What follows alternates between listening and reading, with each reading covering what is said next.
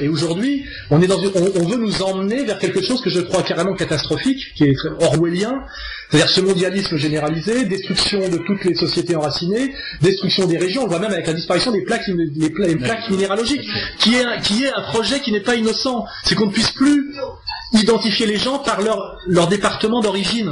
Ce qui est vraiment aussi une vision du monde. Hein. C'est la vision, c'est la vision bah, de, bah, c'est Babylone. Hein. On voit très bien qu'il y a un projet de destruction. On le voit aussi même par les magasins quand on va au centre-ville. Il y a 20 ans au centre-ville, il y avait les magasins, les petites gens qu'on connaissait qui avaient leurs magasins chez Madame Mach- Michu, etc.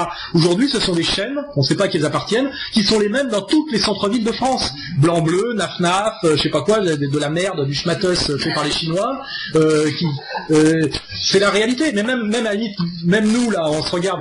Je peux faire n'importe quelle conférence dans n'importe quelle ville de France, je retrouve des types exactement habillés pareil. Il y a 30 ans il y a 40 ans, je pouvais savoir si j'étais au Pays Basque ou en Bretagne. Aujourd'hui, c'est peu... Et même cette salle, on est où là? C'est quoi cette géographie? C'est quoi cette architecture? Je pourrais être n'importe où dans le monde. C'est-à-dire qu'aujourd'hui, on est dans un monde où on peut faire 10 heures d'avion, on arrive au Brésil, on voit marquer Carrefour, et on voit les mêmes gens avec les mêmes caddies euh, euh, euh, acheter les mêmes produits. Pourquoi j'ai fait 10 000 kilomètres? Donc, l'idée, c'est quand même de défendre. Et- c'est là où on peut, on peut, on peut piéger les, crétins de gauche sur leur terrain. Nous, nous défendons les différences. Oui, vive la différence. La différence est en train de disparaître. Le métissage, c'est la destruction de toutes les différences. Donc il faut, au nom de la- du respect des différences, luttons contre le métissage comme projet imposé. Je dis pas le métissage comme aventure individuelle, j'ai rien contre.